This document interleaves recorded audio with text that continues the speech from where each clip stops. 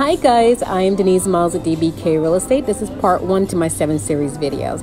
I've been getting inquiries about the buying market. What's the fall 2022 market like?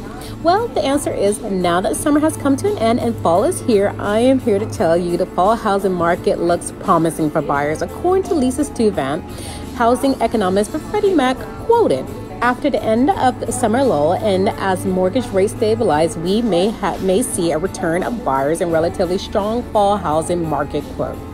Yes, interest rates have gone up, much to the buyers' advantage. They are still historically low, and along with increased inventory, more options continue to become available to home buyers in a market that is still competitive, but not one where home buyers is continuously outbid.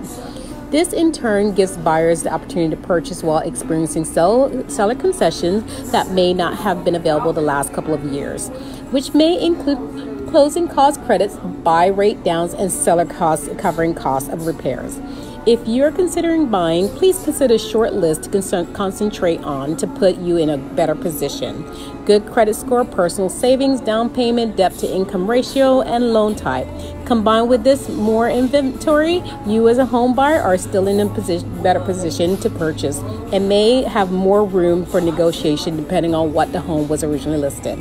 I'm Denise Miles with DBK Real Estate.